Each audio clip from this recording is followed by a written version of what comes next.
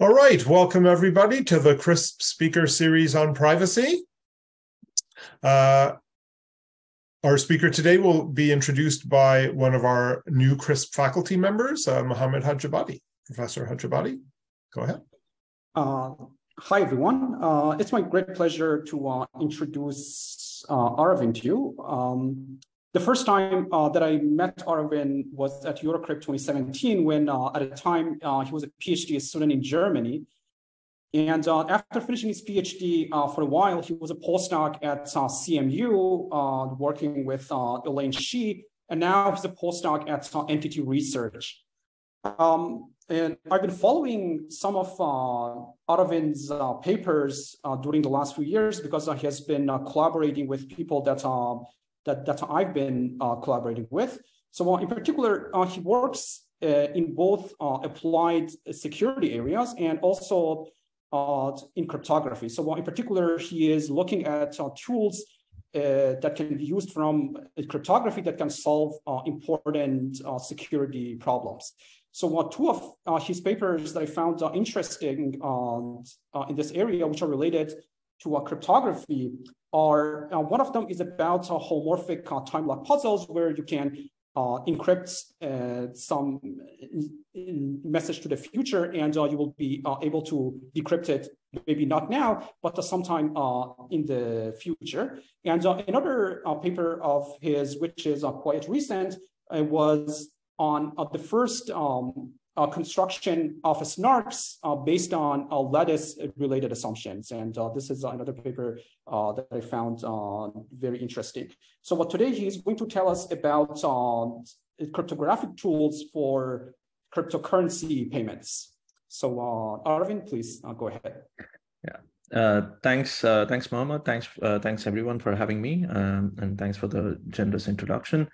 Um, yeah, so I'm. Uh, uh, you, you, can call me. It's my my name is pretty long, but uh, you can call me Sri or Aravind or Aravinda. Anything is fine. Um, so yeah, let me let me start. So I'm currently, uh, as Mohammed said, I'm a postdoc at NTT. Before that, I, I spent a year at CMU and uh, did my PhD and masters in uh, Germany. And uh, yeah, in this talk, I'll be talking about um, cryptographic locks for cryptocurrency payments. Um, this uh, is an overarching theme in my um, in my research, which uh, and uh, in this talk I'll be talking about a couple of my works as a sample of this uh, this larger theme. And my hope in this talk is to convey the key motivation, impact, and um, cryptographic techniques for uh, uh, that that can have immediate impact in these new modern applications. So let me start. Right. Okay. So payment systems of today can be classified into uh, two categories, fiat payments and cryptocurrency payments. And uh, fiat payments are generally uh, backed by a trusted authority like a government or a bank, and they generally have fast processing and are widely used uh, today across the world. But the downside is that the reliance on a trusted authority and stringent rules and regulations for payments. On the other hand, we have cryptocurrency payments, uh, that does not rely on a trusted authority and they do not have stringent rules and regulations for payments. And despite slightly slower processing and uh, poor privacy guarantees, both of which are actively worked upon, uh, they are increasingly adopted today. Right? It's it's currently um, a multi-trillion-dollar industry with um, millions of dollars um, being invested into new startups and new uh, research uh, divisions to improve these uh, systems. So my overarching research theme is to design protocols with provable security um, for cryptocurrency payments such that we can have better privacy, uh, better efficiency for users while ensuring that the protocol is interoperable or compatible with uh, many cryptocurrency systems that we have today. And uh, it's not a surprise, but the chief tool for security that I would be using uh, would be cryptographic algorithms that have reasonable security and are also uh, practical when used, uh, uh, when deployed immediately. Okay, so uh, just a brief background on how this cryptocurrency payment system work. A cryptocurrency payment involves two users. We have Alice wanting to pay Bob for some commodity, and we have a blockchain, which is a publicly available ledger that is immutable and publicly verifiable. And Alice prepares a transaction and posts the transaction onto the blockchain, and the payment is considered to be made. To enable verifiability, a cryptocurrency transaction is of the following structure. It has an input address of Alice, the sender, an output address of Bob, which is the receiver, and some input data and the amount that uh, uh or uh, value that is to be transferred. The addresses are scripts that are basically pieces of code, and a transaction is considered valid if this input data in the transaction, when executed as input to this, uh, this uh, script of the input address, returns one, right? And the most commonly used script in these transactions is that of a verification algorithm of a digital signature scheme. And the script says that you can spend from the address that specifies a public key if you input a signature on the transaction that is valid with respect to this public key. And we have other special scripts as well. For example, we have the lock time scripts that allow the address to be spendable only after some time in the future. Uh, and this is where uh, my work on homomorphic time lock puzzles that Mohammed mentioned will uh, actually came into picture. We have um, hash time lock contracts or HTLC addresses that require uh, a pre-image of some hash value to be revealed uh, before some time for the coins to be spent from the address. And we have more expressive conditions, uh, also known as smart contracts. Using these scripts in, in these cryptocurrency systems, we can realize many payment protocols in, the, in these systems. And these protocols either build a new application with new features on top of these currencies or improve the security and performance of the underlying currency itself. So you have a, these scripts kind of perform a dual purpose where, where you can build something new or improve something that's already existing. But there are uh, some critical issues that come up uh, when you use these scripts in these uh, payment protocols, uh, mainly in terms of privacy, interoperability, and efficiency.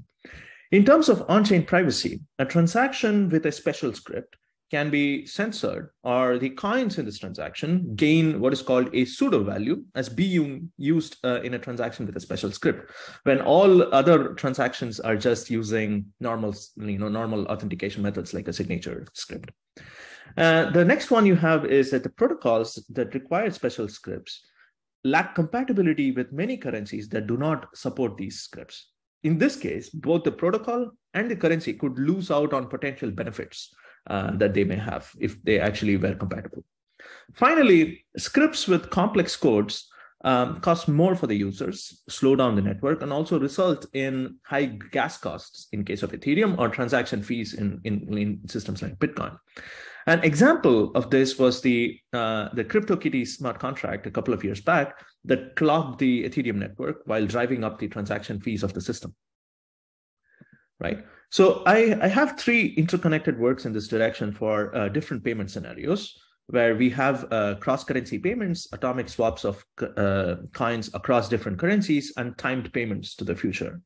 And each of these are fundamental payment scenarios in the real world that uh, that quite are uh, that are quite often used as part of some larger application as well.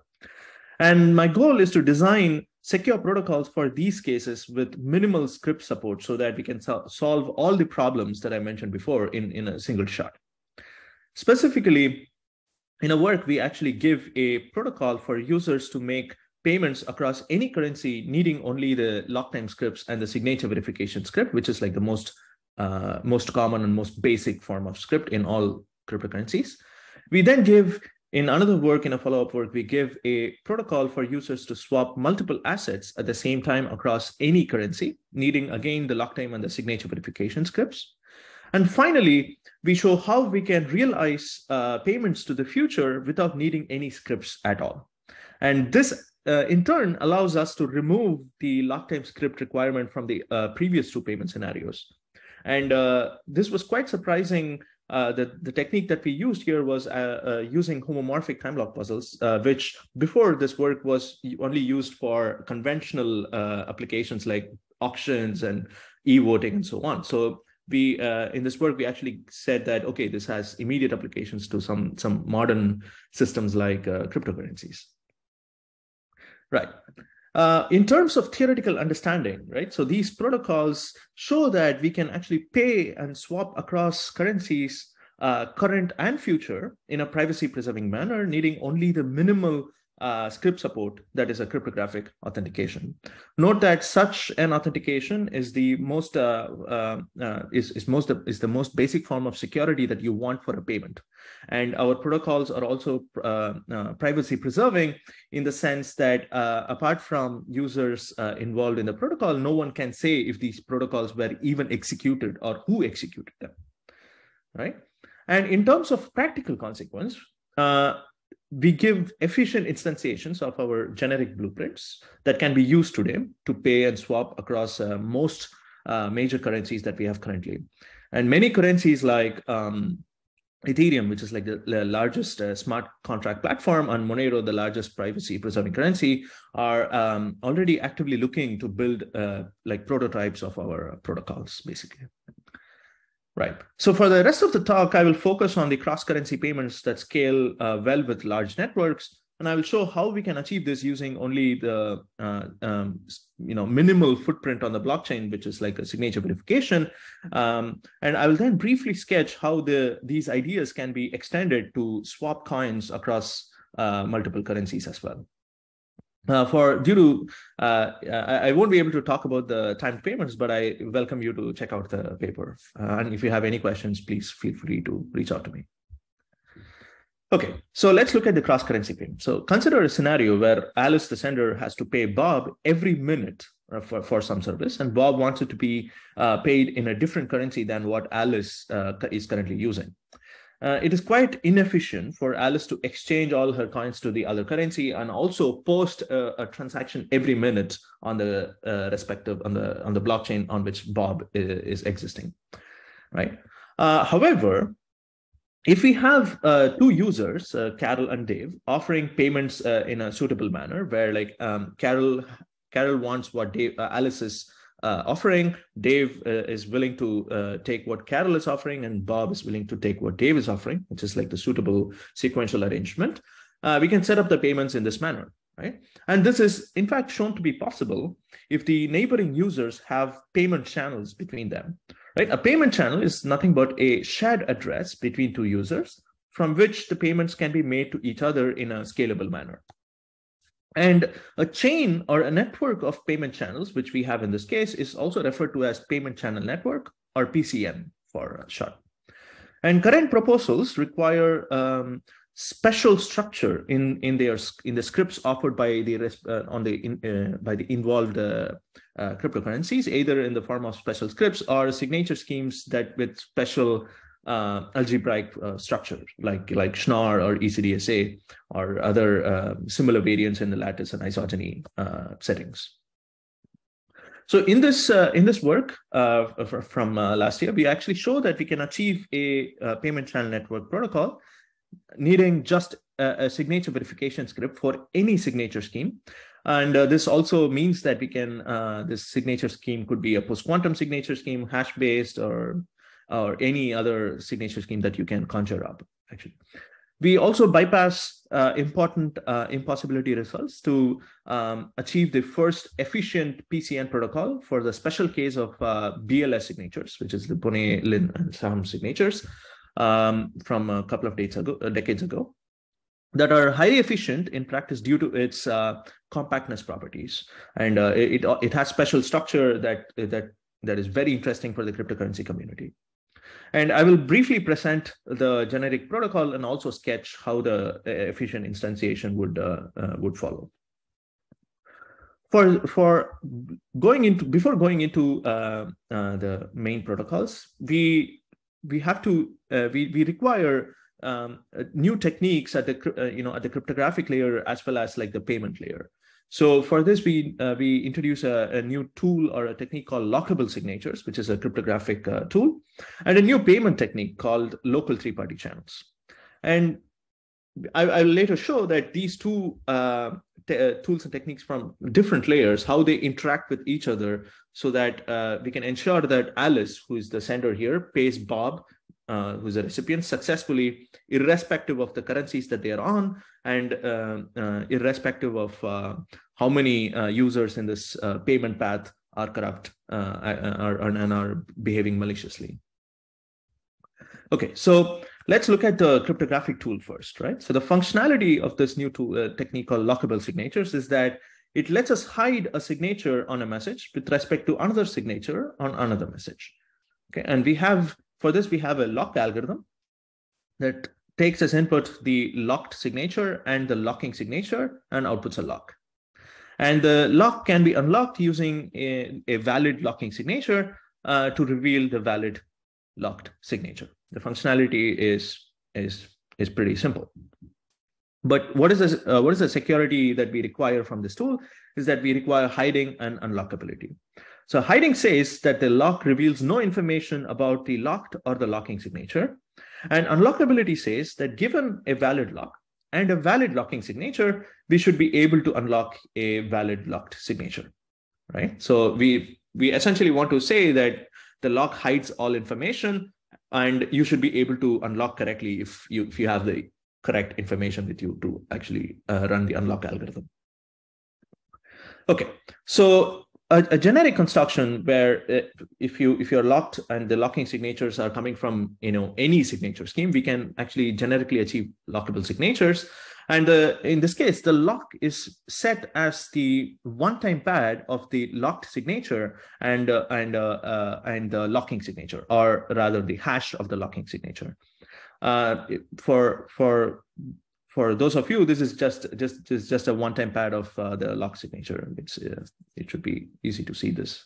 And to unlock, uh, we can hash the locking signature uh, once if you have access to the locking signature. So you hash it. So and then you are able to XOR away and reveal the lock signature. So this is like a generic construction without taking into account any structural properties of the signature scheme. So for the specific case of BLS signatures, as shown here, we can do something similar. Uh, the signature scheme uh, is special because the signatures are compact, uh, they are unique with respect to the given message and a public key, and they are also aggregatable.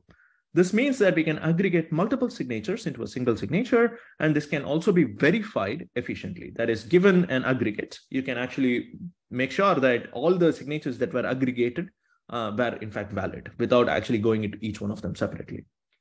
And uh, the lockable signatures for this BLS signature scheme can be obtained by uh, aggregating the locking and the lock signature together.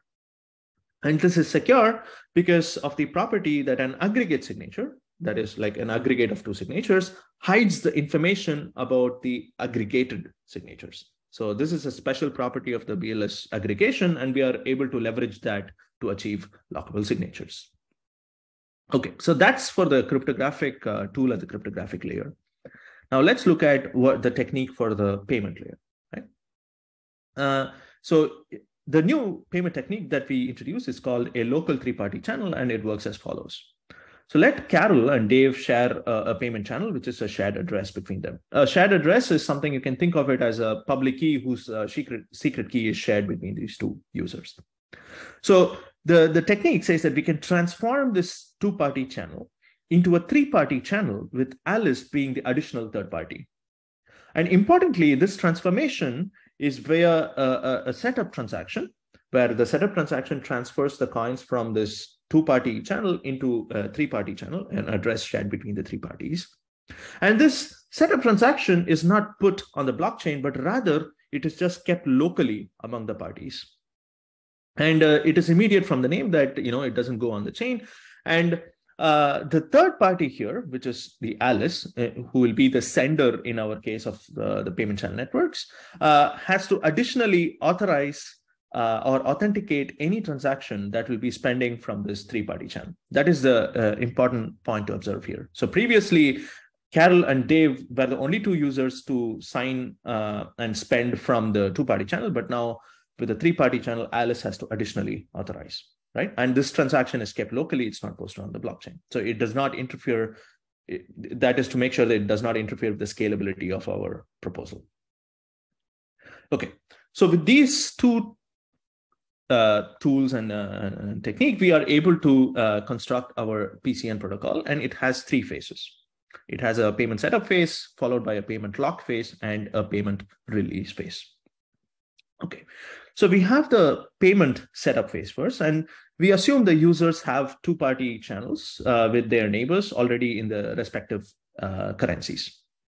Now they transform their two-party channels to three-party channels locally, with Alice being the Alice who is the sender being the third party in all of those uh, transformations. Uh, and notice that each of those channels now will have a setup transaction for them, transforming them into three-party channels. And once these transactions are set up and signed and, and, and, and they're kept locally, we can now start working as if these uh, as if these channels were actually three-party channels. Okay, so that concludes the uh, setup phase. In the next phase, which is the payment lock phase, parties set up the payment transactions that pay from the three-party channels to the immediate neighboring right hand, the user on the right-hand side, right? And for example, the first payment transaction pays from the three-party channel between um, Alice, who's the sender, and Alice and uh, Carol, um, because they they originally shared a two-party channel. So now you have Alice, Alice, and Carol. And this payment transaction spends from that three-party channel to Carol. So that's the first payment. The second one pays from the three-party channel between Alice, Carol, and Dave to Dave, and uh, and so on. So the users then set up payment locks. For example, the locked signature of the first lock is the signature on the first payment transaction. And the lock signature on the second lock is the signature on the second payment transaction, and so on. Okay. And these locks are generated using uh, uh, multi-party computation protocols. A multi-party computation, or MPC for short, is a protocol that can be run by several parties with private inputs to uh, securely compute some function. Right? And we, we require this MPC protocol to guarantee security for the honest uh, parties involved, even if an adversary aborts the protocol in the middle. And, uh, the, and the functionality must ensure that the locked signature of a lock is the locking signature of the previous lock. And here the parties run an MPC so that first Carol receives the first lock, followed by Dave and Bob. And in the last lock, uh, if you notice, the locking signature uh, is some, the, that which is sigma star, is some value that Alice and Bob can compute on some random message. So this is different from all other signatures involved in these locks because they're all signatures on the payment transactions. But sigma star is just some, some signature that the sender and the receiver, that is Alice and Bob, can generate on some random message, which will be useful uh, later for us. Okay. Once the lock phase is complete, that is all the uh, payment locks are set up for the payment transactions in this, uh, in this payment path. Um, Alice and Bob can generate the locking signature of the last lock, that is sigma star, right? And once this signature is generated, what follows is that Bob unlocks the payment, payment signature right? Which is sigma ADB, which is the green sigma ADB. And once uh, he's able to unlock this uh, signature, he's able to put the payment transaction and the signature on the Ethereum blockchain in this case and get one Ether from Dave, right? And once this sigma ADB, which is this green sigma ADB, is revealed, which is now the locking signature of the previous lock, Dave is able to learn this and unlock uh, sigma ACD, and use this signature, this green sigma ACD to get the payment from Carol. And similarly, you can, uh, you know, the, the cascading effects just, just carries on, irrespective of the number of users you have in this payment pattern. So as a result, what happens is Alice, who is a sender, ends up paying Bob via these intermediate uh, payments, essentially. And you may ask why the why these users want to participate in this payment path, meaning Carol and Dave, why should they waste their time? Uh, there is an additional incentive for them to participate because Alice will be offering some some you know some routing fee. A small amount of the payment will go as a fee to these intermediate users, and you know that's why they are willing to participate in this protocol. Okay, in terms of security, Carol in the middle cannot get paid before she pays Dave. And this follows by the hiding property of the lockable signatures. And if Carol pays Dave, she will get paid from Alice. And this follows from the unlockability property of the lockable signatures. Right. So we are with these two properties, we are able to ensure that no honest user in the path uh, will ever lose coins to to even if everyone else in the path is colluding and uh, is behaving maliciously. Okay. Um, an, imp- an important privacy uh, point that I, I think I didn't mention here is that um, except for the neighboring users, right? So, for example, take the case of Carol, except for Alice and Dave, uh, Bob doesn't know that uh, Carol is actually participating in this payment path. Okay, so it, it's only the neighboring users know uh, that they are in this payment path, and anyone you know further along or further before do not know who is actually participating in the payment path. So that is uh, that is that's also an, uh, uh, a, a privacy caveat of this protocol. Okay, so um, before I go, uh, so the next I would be presenting the BLS signature specific uh, payment channel network protocol. So before I go into that, I, I just want to pause here and wait for questions. I actually have a question. If if anyone else has a question, of course, um, go ahead and put it in the Q and A box. Um, meanwhile, I actually have a question.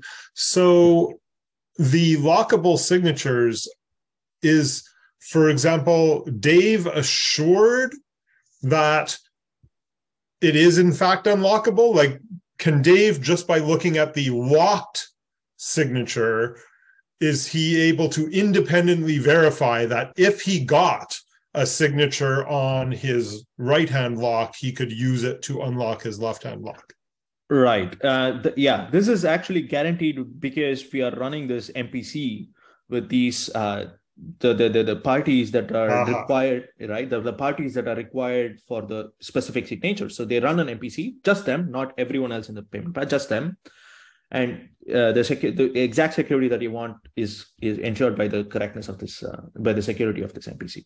Great. I, but but um, we we have to we have to get rid of this MPC if we want something efficient, and I will show how that we, we can do that for the BLS. The next slides. Great there any other questions? No one's put anything in the Q&A, so let's go on. Mm -hmm. All right.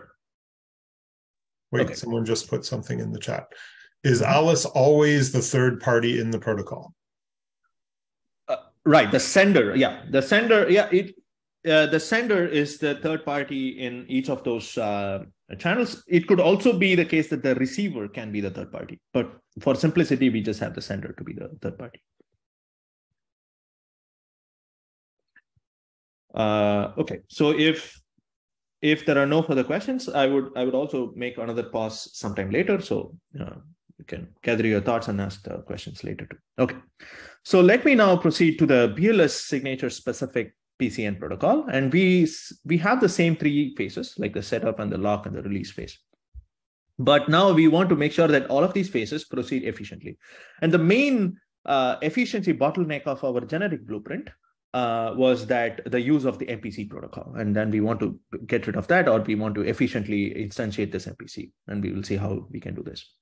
Okay, so the first step of doing this is to is, is to have this the channel, the three-party channel in a structured form right? So the three-party channel is essentially a, the product of the public keys of the of the involved parties. So the channel between Alice, Bob, and Carol, the three-party channel, is essentially the product of the public key of Alice, Bob, and Carol, right? So, and and this will help. This this is this will play a crucial role because of the structure of the signature scheme uh, of BLS essentially.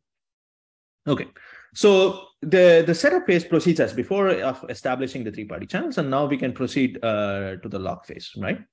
Um, and the lock phase also proceeds in a similar way of establishing these locks, but without without any MPC. So now let's look at the uh, specific case of uh, the lock that Dave receives. And we will exploit the aggregation property of the BLS signatures. Uh, and let's see how. Okay, so in the first step, Carol and Bob send their signatures on the respective payment transactions, uh, the signatures being BLS signatures on the respective payment transactions to Dave. And Dave can verify these signatures. That's fine. In the next step, Alice sends an aggregate of her signature on the two payment transactions, which is the green and the red payment transactions. So Alice sends an aggregate of her signatures uh, on these two transactions. Uh, notice, uh, notice by the security of the uh, aggregate signatures, as I said before, the green sigma A and the red sigma A cannot be retrieved from this aggregate. right? So the aggregate hides information about these two signatures. Okay, so once these uh, uh, the signatures, individual signatures, and the aggregate signature is received, Dave can locally set the lock by aggregating all the signatures that he received along with his own signatures on the two payment transactions. Right. So now all these green uh, uh, in this huge product, all these green components uh, uh, constitute the constitute the signature on the payment transaction from Carol to Dave. And all the red components constitute the signature on the red payment transaction from Dave to Bob, right? And uh, we are able to do this because in the previous uh, slides, I showed you the structure of the channel, which was like just a product of the public keys, right? And these two um, play really well together with the, with the signature scheme of BLS. Okay, now, if we repeat, uh, uh, now the point is, uh, uh, as before, Alice and Bob can together generate sigma star, right? And um, uh, and all the other signatures, uh, you know, one by one can be just, you know, obtained by just, you know, or in some sense dividing away the locking signatures from each of those locks. Okay, now, the security argument is as before, except now that the, uh, as I said, the BLS signature is unique with respect to the message and the public key. And this guarantees that given a lock and a valid locking signature, that is, there is one and only locked signature that is possible, and that's a valid lock signature. So this, we are able to get this uh, property like information theoretically in sense. Uh, there's no, there's no computational argument there. Okay, now, the uh, as I said before, this is an efficient instantiation, and uh, the uniqueness and the aggregatability property of the BLS signatures, uh, it not only makes our security argument uh, easy, but also helps in efficiency, right? Because because you are able to aggregate several signatures, uh, that means you can send compact messages, so your communication complexity improves, and because it is unique, that means that once you generate a signature on a message under some public key. Uh, you can essentially store the signature and just reuse this whenever you want to communicate uh, again for this message and the public key. In the previous, in any other signature scheme, right, you will have to generate fresh signatures every time. But here you have already generated it, so you can just reuse it. So this also saves computation time for you, and that's how that's why you are able to see uh, you know uh, huge savings compared to the current instantiations of Schnorr and ECDSA. And also note that uh, this is the first time that we are able to do something for BLS um, uh, because the previous techniques were simply, uh, yeah, they, they were impossible to be adapted to BLS. Okay, so this, uh, with this, I, I, I, will conclude the, uh, the cross-currency payments and I will move on to uh, how you can, in some sense, simplify and as well as generalize in, in different dimensions the techniques that we just saw to achieve what is called a universal, uh, uh, you know, coin exchange among different cryptocurrencies. So if if you have any questions, I'll, uh, just pause, I'll give a brief pause here. Again, if you have any questions, put in the Q and A, and I'll throw in my own again.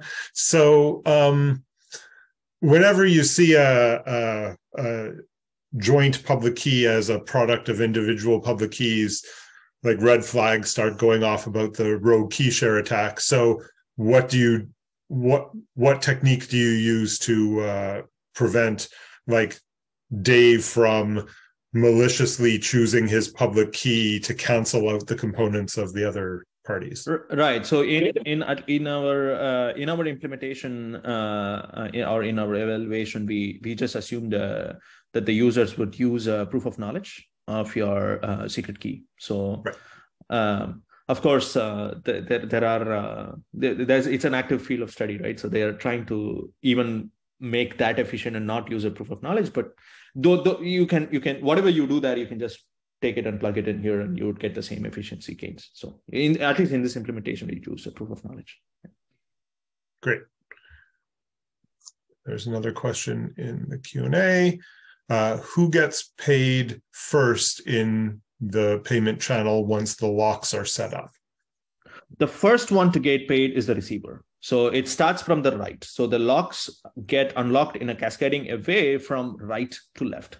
So it's the receiver, then the previous guy, the previous guy, previous guy, and it goes till uh, the next guy of the sender. So that's the order. Yeah, you want to ensure that you pay first uh, before you get paid, and this is very important. So that's why you go in this order. Um, okay. No okay. other questions? Go ahead. Okay, perfect. All right. So yeah, for the rest of the talk, I will just focus on the atomic swap of uh, cryptocurrency coins across any currency, right? Okay. So what is what is this setting?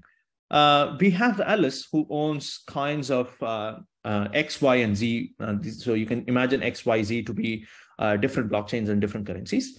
And Bob owns coins in A, B, C, right, which is, which is denoted in right here. And they want to exchange these coins simultaneously. And uh, as before, we want uh, you know on-chain privacy, uh, better compatibility, and efficient and, and better efficiency and better costs for the users. Um, so in this follow-up work, we are we actually uh, um, are, um, give a generic blueprint uh, where we uh, users can uh, swap these multiple assets, um, needing only a signature verification from the currencies. And because of this minimal requirement, uh, we are able to cover this uh, this huge uh, this almost um, the full space of cryptocurrencies. we also give highly efficient protocols for when the currencies are using Schnorr or ECDSA signatures to verify transactions, which practically covers most of the cryptocurrencies that we have today. Uh, right.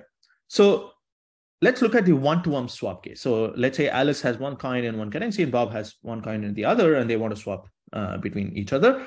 And the uh, idea is uh, very, uh, you know, uh, very similar to what we just saw before with the cross-currency payments. So the idea is to use payment channels, and the payment transactions are set up such that they can pay each other. So the first payment transaction pays to Bob, the second payment transaction pays to Alice. So um, notice, remember that we only have two users now instead of having multiple users that we had for the, the payment channel network case. Okay. Importantly, the transactions are set to expire uh, and become invalid after some time, so that if uh, so that if one of the parties drops out, either Bob or Alice drops out, they want to ensure that the coins are not you know locked in these channels forever right? So these these payment transactions will expire after some time, and this I mean the channels will expire after some time, and then the coins will just go back to their original owner if the other party is just non-responsive.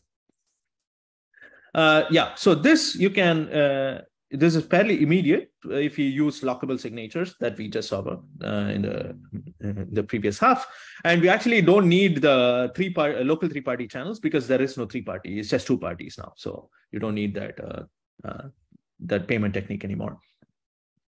For the multi-asset swap case, we first have to uh, jot down the right notion of atomicity, right? Proce like proceeding like before, we we have the payment channel set up and the payment lock set up on the left-hand side payments.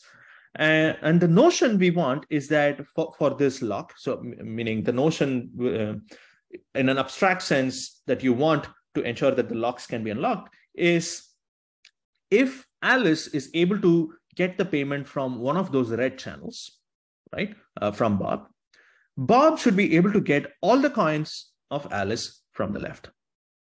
Okay, and uh, this means that you know Alice wants to wait till she can get all the coins of Bob, and once that happens, right, and Alice would get the payment and then bob can you know get all the payments on the left. In any other notion it is possible that you know uh, one of the users only takes uh, not all the coins but only part of the part of the uh, you know so some some number of coins but not all. And then you know uh, your uh, notion of atomicity may simply prevent the other guy from getting the required number of coins. It, but with this notion you say that if alice even, even if Alice gets one, Bob can get all. And in the protocol later, we will arrange, uh, we will set up the protocol in such a way that it's in the best interest of Alice to get all the coins of Bob, actually. So um, that's that's like the uh, notion that we want to go for. And generically, we can uh, proceed as we did with uh, lockable signatures, that is using the general uh, multi-party computation or two-party computation, because we only have two parties now. And specifically for Schnorr and ECDSA, we can replace this, uh, this this heavy tool of this two-party computation with efficient tools. And I will briefly introduce uh, this uh, tool that we will be using extensively. Okay, so uh, this, this uh, technique is called adapter signatures, and it is a method of encrypting signatures such that we can verify this encryption efficiently. And crucially, if we have access to uh, the ciphertext that is encrypting the signature and the signature itself, we can extract the decryption key. Okay, so in the in the in the picture here, you can think of uh, the small y as the decryption key, and the pre-signature algorithm as the one that is uh, encrypting a signature. So the sigma tilde is the ciphertext that is encrypting sigma. Okay, so you can verify, which is the pre-verify algorithm. So you can verify if everything is uh, generated correctly. You have uh, an adapt algorithm, which is like a decryption algorithm. So given sigma tilde and um, and this decryption key or the small y, you are able to obtain the uh, encrypted signature that is sigma. And the crucial property that I said is that of extraction, where if you are given sigma tilde, which is the encryption, and sigma, which was encrypted, you are actually able to efficiently derive the decryption key or the small y. Okay, so this is this property is the one that that will play a crucial role for us to achieve atomic swaps needing only signatures. Okay. The security properties are uh, are, uh, are natural that we want the signatures to be unforgeable, uh, even if the adversary has access to uh, these um, uh, encryptions of signatures. Um, and finally, we, uh, we, we, want uh, that given a valid decryption key uh, or a valid the small y, we can decrypt and obtain a valid signature. And we also want to ensure that we can extract the correct decryption key if given the ciphertext and the signature. Okay, and we know how to efficient. We know of efficient algorithms for adapter signatures when the signature scheme is that of ECDSA, Schnorr, um, or other uh, variants in, in lattice and isogeny settings. Uh, and we'll be making use of these algorithms in our atomic swap protocol. Uh, but before I go into the details, since this tool probably is new, I'm, I'm just going to pause. And uh, if you have any questions, please, uh, please ask.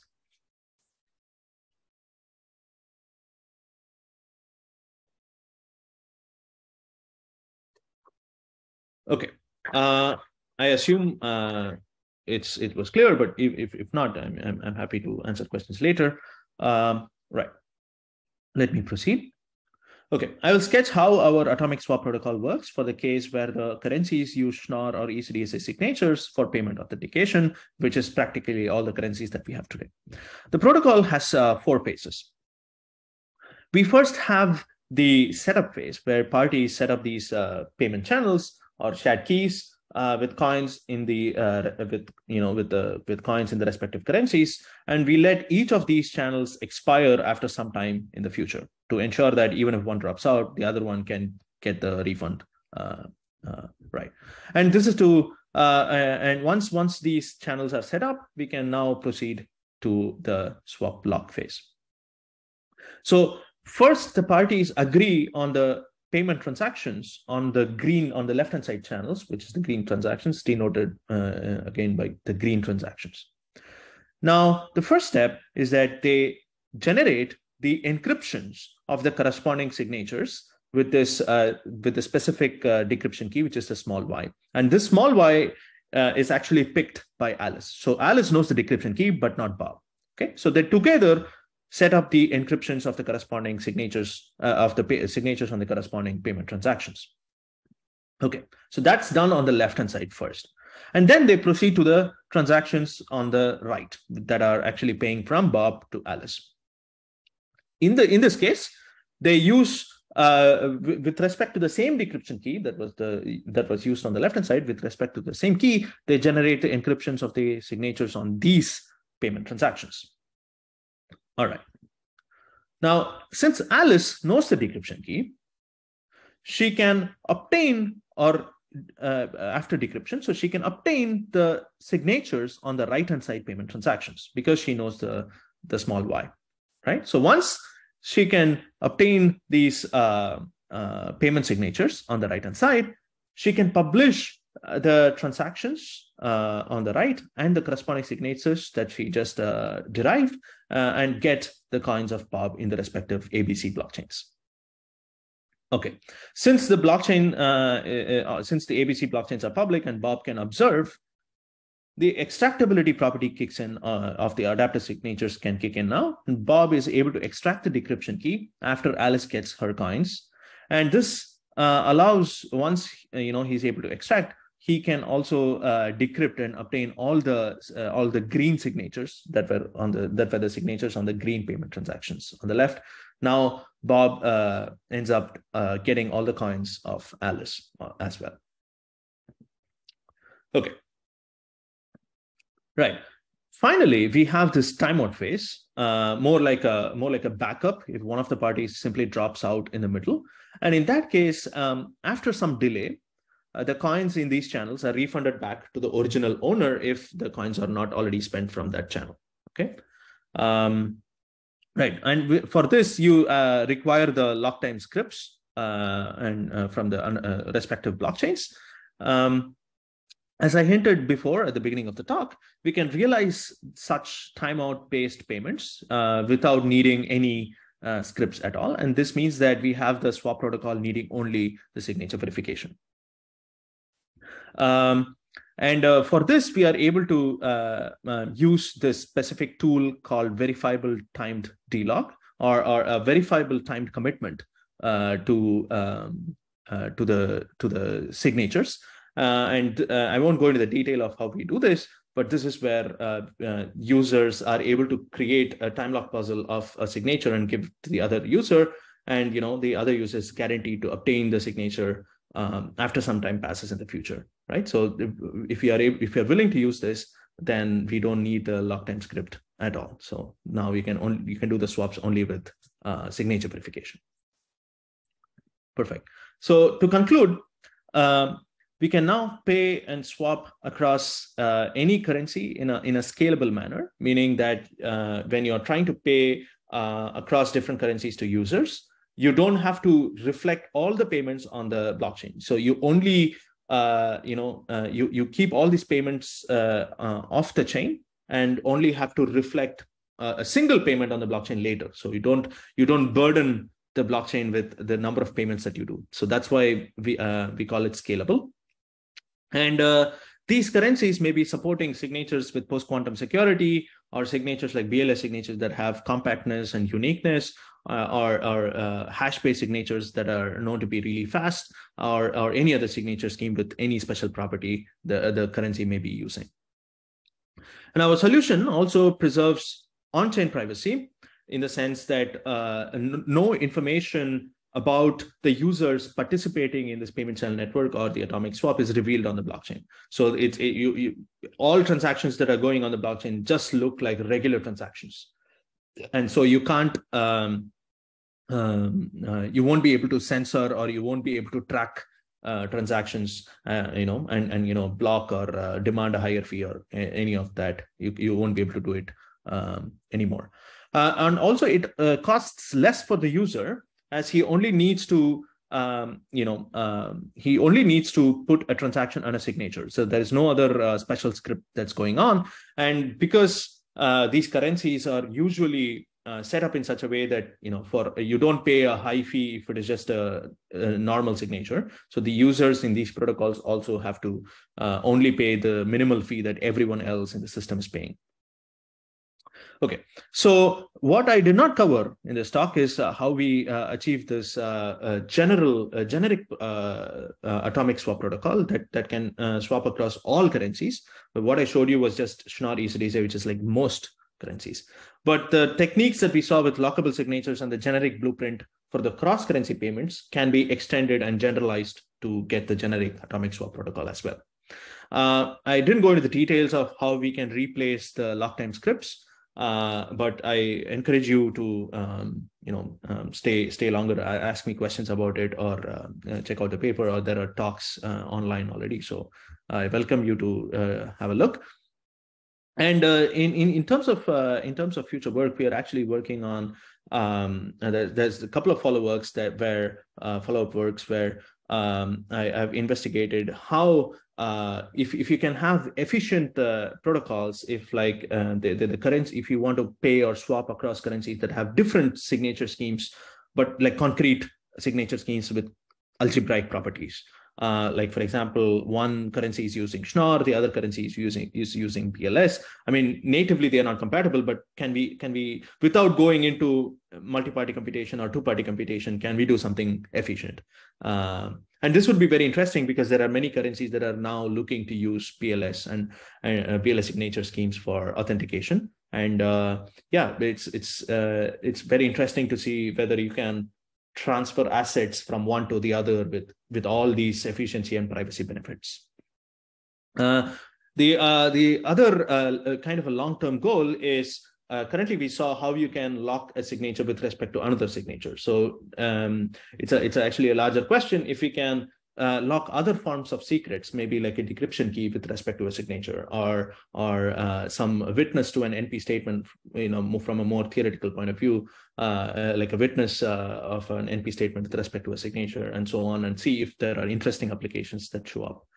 Um, right. So yeah so there, there are many other works of mine that fall into this category uh, and uh, as mohammed mentioned there's a, a recent i've worked on uh, lattice uh, lattice based snarks recently. That's a recent work of mine.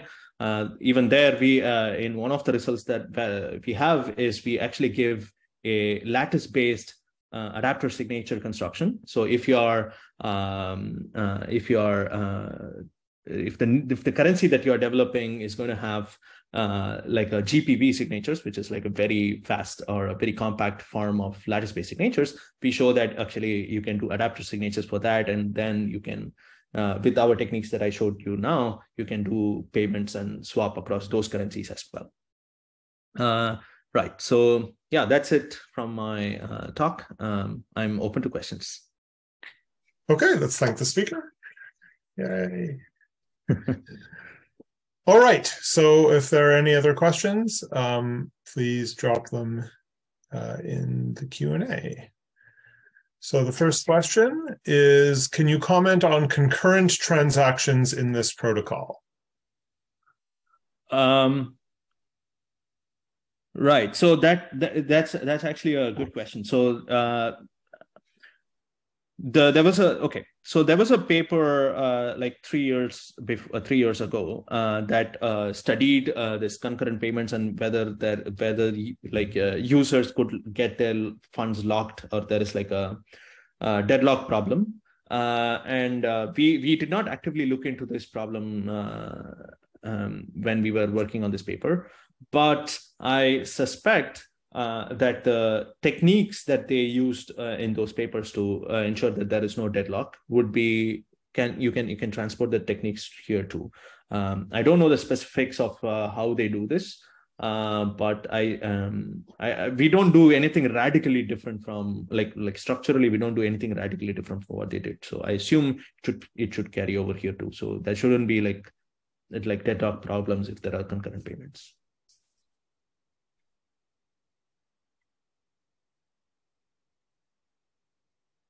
Great. Uh, I don't see another question in the chat. Mohammed, did you have? Uh, I don't know. Uh, no, I, I, felt I felt guilty uh, uh, because Mohammed was mentioning sn- uh, lattice snarks, and I was, oh no, maybe I should talk about that. But it was too late to change my mind. Yeah, no, that would be another really interesting. Uh, yeah, sure. Or another time, perhaps. Okay, if there are no other questions in the Q&A. Let's thank our speaker again. Thanks. So oh, I, I moved to the other room. Oh, thank you very much in the Q&A. Great. Um, okay, so uh, Aravinda will be meeting with uh, CrySP students over in the next Zoom room that you should have received a link for. Um, so if you're going to go to that room, now's the time. Okay, thank you everybody for coming out to the CrySP speaker series on privacy and uh, watch your email for announcements of future editions. Okay, thanks everybody.